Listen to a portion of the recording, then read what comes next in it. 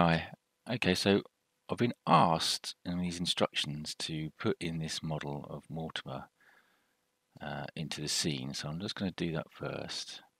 So Mortimer's gone into the scene, and we can see that he's not in his T-pose, which is incredibly frustrating.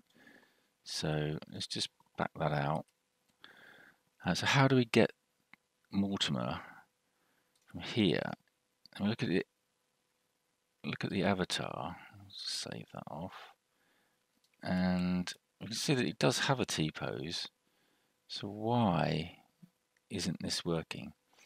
So what you can do is over here in the hierarchy, we've got this thing called Mortimer Clone, which is using to display this. So we can actually copy this, copy that, and then we can go, just say done, come out of this. And then we go back into our scene, and rather than drag Mortimer over from here, you can just go into your scene and paste Mortimer. And there we have Mortimer with all of his hips and all the important things, but now he's actually in the T-pose, which is really useful. So there is a very quick guide on how to get your model into the scene as a T-pose. Thank you.